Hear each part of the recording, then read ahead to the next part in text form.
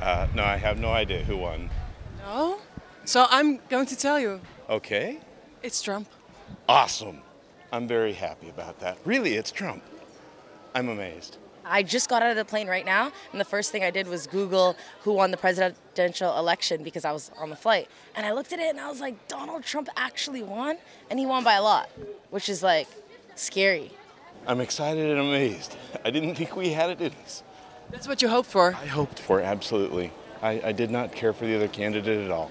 Don't trust her politics, don't trust her honesty. Donald Trump is a troll, and he's not, you know, he shouldn't be president. Very pleased. Hopefully, he'll turn our country around. When we landed, you know, people were saying, who's, who's our president, who's our president? And then someone that was sitting across the aisle showed us his phone and said Donald Trump won, and that made both of us happy. We voted for him, we wanted him. We did not want her in. She's not going to be good. She wouldn't not have been good for America. Give him a chance. We need, we need to give him a chance.